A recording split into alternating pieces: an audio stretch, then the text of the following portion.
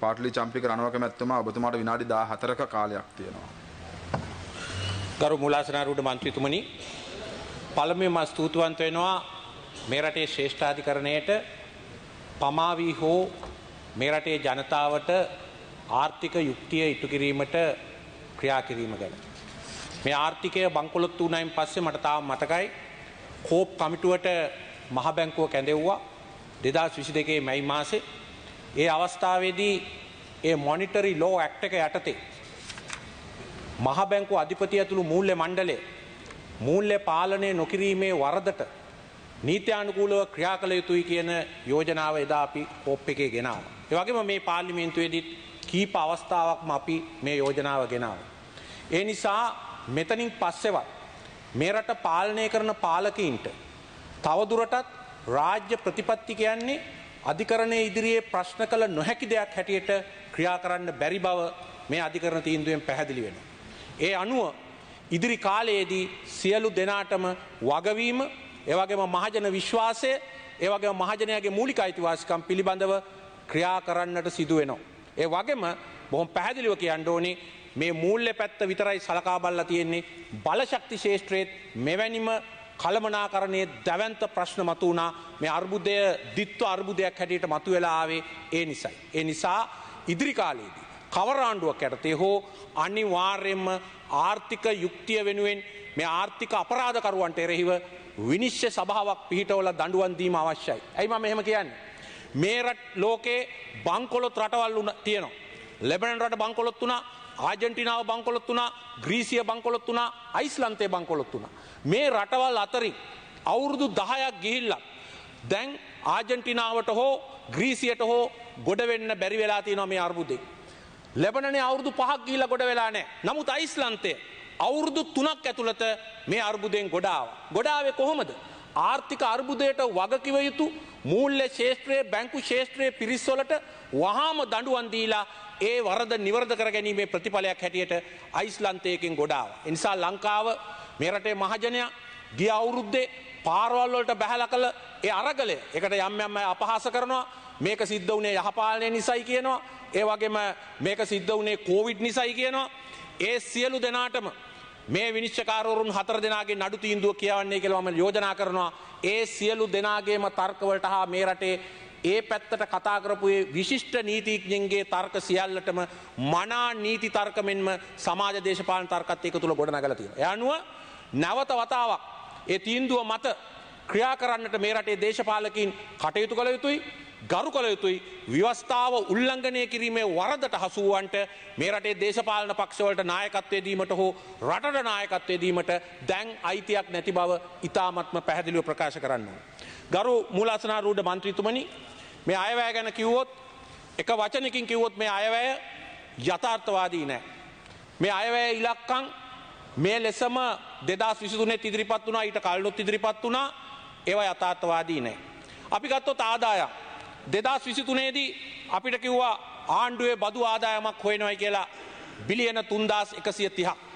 නමුත් මේ අවස්ථාවේ ඇතිවෙන පුරෝකතන අනුව අවුරුද්ධ අගදි එකතු වෙන්නේ බිලියන දෙදස් පන්සීයක් පමණයි.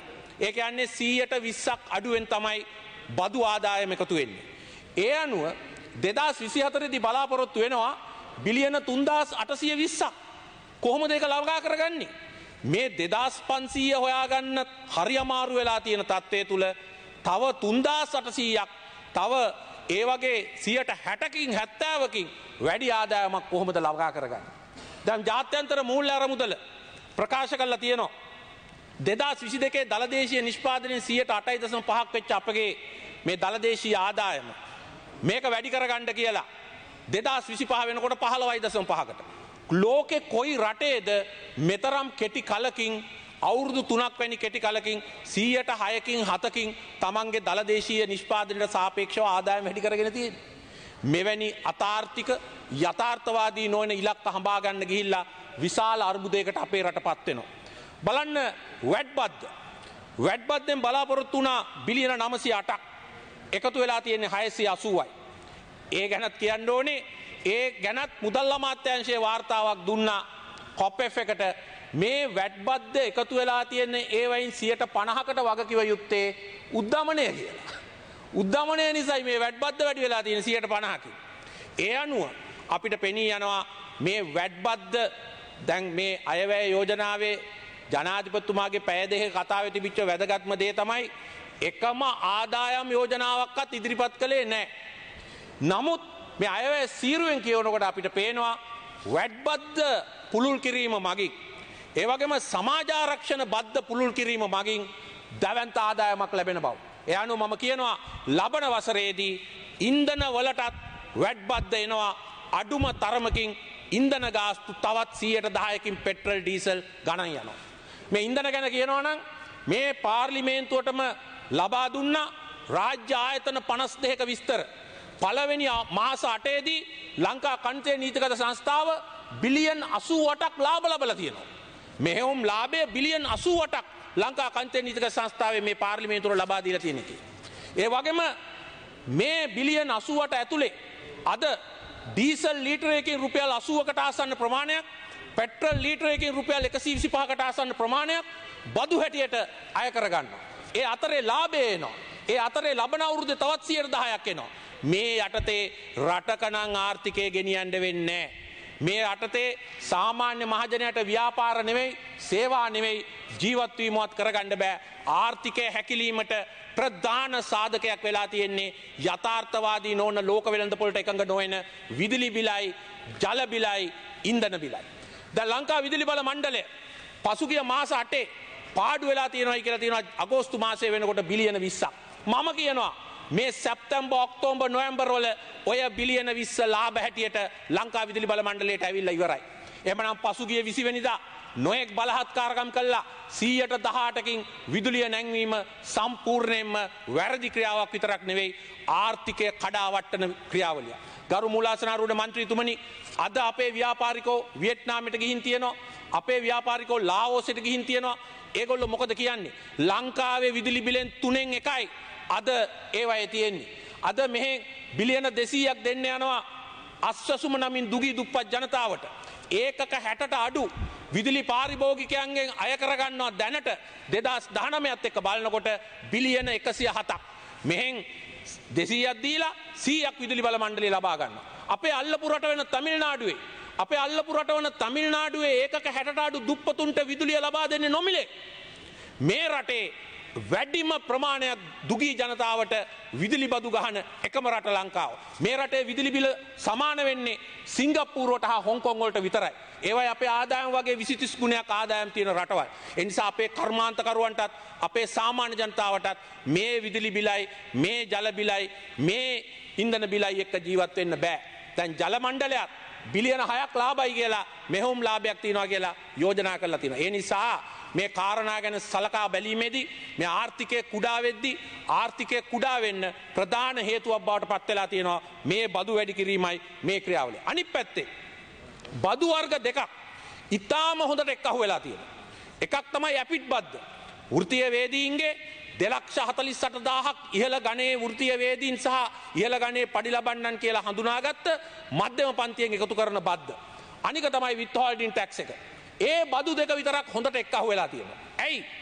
එක හේතුවක් ඒ බදුවලින් යම් කිසි කොටසක් සමාගංවලින් අයවෙන්න තිබිච්චේවා ආදායම් බදු හැටිට අයවෙන තිබිච්ච ඔවුන්ගෙන් අයවුනා කියලා මතයක් තියෙනවා වෙන්න පුළුවන් නමුත් අනික් හේතුව තමයි වැදගත් හේතුව තමයි ඒ බදු දෙකම යම් කිසි ආකාරයක මූල්‍ය පසුබිමක් පදනමක් තියෙනවා කාටවත් ඒ බදුවලට හොර කරන්න බෑ. මේකෙන් පේන්නේ මොකක්ද. සීයට පණහක් පමණ මේ දැනටමත් බදු ගෙවන පිරිස්වල බදු ආදායම එකතු වෙන්නේ නෑ. ඒක අපි පහුගිය කාලේ පෙන්නලා දුන්නා.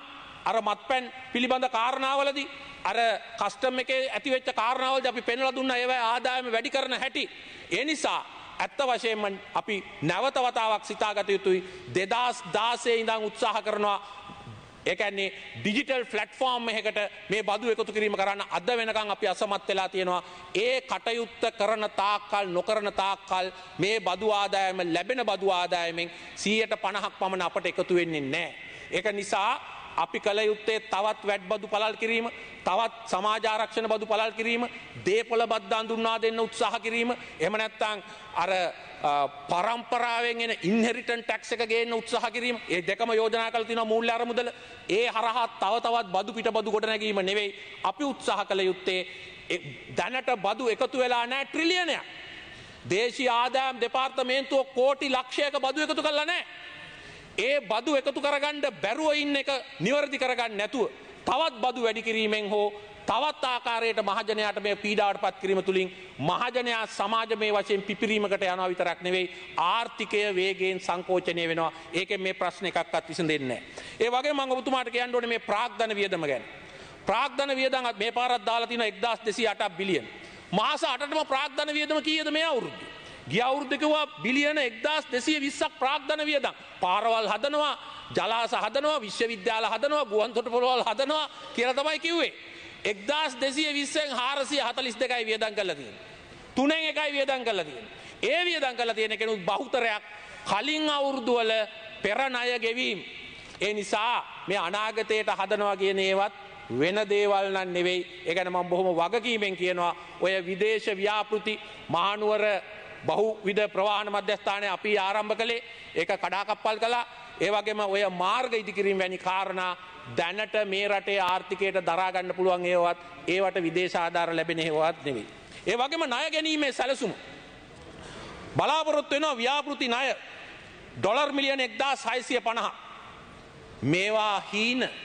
ඊළඟට ජාත්‍යන්තර මූල්ල අරමුදලෙන් ඩොලර් මිලියන හත්සීය. ලෝක බැංකුවෙන් ඩොලර් මිලියන පන්සීයක්. ආසියානු සංවධන බැංකුවෙන් ඩොලර් මිලියන හාරසිය පණහ ඔබතුමාට තව විනාඩි දෙකක් කාලයක් එකතුව ඩොලර් මිලියන එක්දා සයිසිය පණහ මේවා ලැබෙන්න නම් අපි ජාත්‍යන්තර මූල්‍ය අරමුදලේ අර ඉදිරිපත් කළ තින ලේඛනේ ඒ දීලා තින ඉලක්ක සපුරා ගන්න ඕන. අදටත් අපිට බැරි වුණා විදේශ ණය හිමියොත් එක්ක එකඟතාවයකට යන්න. එනිසා සැප්තැම්බර් 27 ලැබෙන්න තිබිච්ච ජාත්‍යන්තර මූල්‍ය අරමුදලේ ණය වාරිකය අපිට ලැබුණේ නැහැ ඒ ණයවාරිකයත් එක්ක ගැට ගැහිච්ච ලෝක බැංකුවේ හා ආසියානු සංවර්ධන බැංකුවේ ණය ආධාර අපට ලැබුණේ නැහැ. ඒ නිසා රජය මුලින් කළ යුත්තේ මේ විදේශ ණය ප්‍රතිව්‍යුහගත කරණය කිරීමයි. ඒක කළ යුතුමයි. ඒක කිරීමයි සිදු කළ යුත්තේ. එසේ නැතුව මේ ඉලක්කම් මෙතන දැම්මයි කියලා මේවා යථාර්ථවාදී ඉලක්කන්න වෙන බවක් අපිට පේන්න නැහැ. ඒ නිසා අපි එකක් වටහා ගත යුතුයි. මහජනයා ඊටාම අපහසුයෙන් Taman සතු යම් යම් දෑ උගස් කරලා දේපොළ උගස් කරලා ඉතාම අමාරුවෙන් ජීවත්වෙන්. ඒ අතරේ මේ අපි ටැක්ස එක සහනිකුත් බදු නිසා මේ රට අවුරුදු ගානක් තිස්සේ හදාගත්ත අධ්‍යාපන ප්‍රාග්ධනය ෘතියවේදී ප්‍රාග්ධනය රටින් පලා යනවා. විශ්වවිද්‍යාල හයහතක් හදන්න යනවා. හැබැයි මහාචාර්යවරයෙක් ආචාර්යවරු සිය ගානෙන් රටෙන් එලියට යනවා. ඒවගේම දොස්තර මහත්තුරු ටික රටින් යනවා වරලත් ඉංජිනේරුව ටික රටින් යනවා. ඒ වගේම විශේෂයෙන්ම තොරතුරු තාක්ෂණ ශේෂ්ත්‍රයේ නැගාපු ව්‍යාපාර ඔක්කොම බිමට බිම්බත් වෙලා ඒ සියලු දෙනා රටින් යනවා. අපට මේ රට ගොඩනගන්න අවශ්‍ය කරන ඒ මානව ප්‍රාග්ධනය නැති වෙලා මේ රට මානව කාන්තාරයක් බවට පරිවර්තනය වෙමින් තියෙනවා. ඒවා පසුගන්නන් නැතුව පටු දේශපාලන කතා පවත්ත පවත්ත අර පැත්තෙන් යහපාලනය ගැන කිය කිය මේ පැත්තෙන් මේ අර්බුදය ගැන කිය කිය අපට කල්ගවන්ඩ බෑ. මේ සඳහා විදිමත් රට ගොඩ ගන්නා වැඩ පිළිවෙලක් අවශ්‍යයි. ඒ වැඩ පිළිවෙල විදිමත් ඉදිරිපත් කළ මේ මහපොළොවේ ක්‍රියාත්මක කරන නොකරන තාක්කල් මේ අර්බුදය දිග්ගැහෙන විතරක් නෙවෙයි තව අරගල මතුවෙන්න නියමිතයි. මම අදානතුරු අඟෝනවා එදා දෙදස් විසියකේ නොවම්බර් දාහත මේ පාර්ලිමේන්තුවේ මම කිව්වා බැසිල් මාර්ගපක්ෂ මහත්තයට ඔබතුමාගේ අවසාන අයවැය කියලා. මම කිව්වා අපේ ගරු සරත් වීරසේකර මැතිතුමාට ඔබතුමාගේ පොලිසියට ඊළඟේන අරගලය නතර කරන්න බෑ කියලා. මම කිව්වා ඊළඟ මාර්තු මාසෙදී මේ රටේ බලශක්ති අර්බුදයක් එනවා ඔය කයිවාරු ඇමතිලගේ කයිවාරු මොනවද තිබුණත් රට ගිනි ගන්නවා කියලා. ඒ නිසා මේවා පාලනය නොකළොත් ඊළඟ අවුරුද්දේ පළවෙනි මාස 6 ඇතුළත රාජ්‍ය සේවකින්ගේ වැටු පැඩිකිරීමට අපි පක්ෂ එක බොහොම හොඳයි. විශ්‍රාමිකයන්ගේ වැටු පැඩිකිරීමත් හොඳයි. නමුත් රාජ්‍ය සේවකයෝ සහ මේ රටේ සාමාන්‍ය මහජනතාවට තවත් ජීවත්වෙන්න බැරි අසහනකාරී තත්ත්වයක් තුළ මේ රට නැවත සමාජ පිපිරීමක් කරා ගමන් කරනවා මයි ඒක වැලැක්වීමට අපි සියලු දෙනාම බුද්ධිමත්ව හා විධිමත්ව කටයුතු කළ යුතුයි කියන යෝජනා කරමින් මම නිහඬ බොහොම ස්තුතියි. ගරු ප්‍රේමලාල් ජයසේකර මැතිතුමා ඔබතුමාට විනාඩි 12ක කාලයක් තියෙනවා. ගරු